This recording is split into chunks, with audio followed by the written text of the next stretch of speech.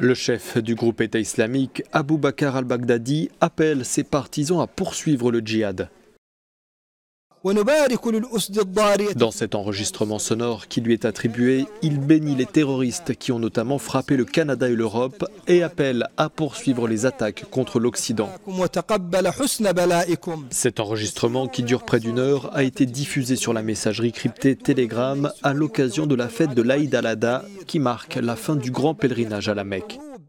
Selon des responsables irakiens, Abu Bakr al-Baghdadi, donné pour mort à plusieurs reprises, serait encore en vie et se trouverait en territoire syrien le long de la frontière avec l'Irak. Sa tête est toujours mise à prix 25 millions de dollars par les États-Unis qui considèrent eux aussi qu'il serait toujours en vie. La seule apparition publique connue du chef de l'État islamique remonte à 2014. C'était dans la mosquée Al-Nouri de Mossoul en Irak, une mosquée détruite depuis.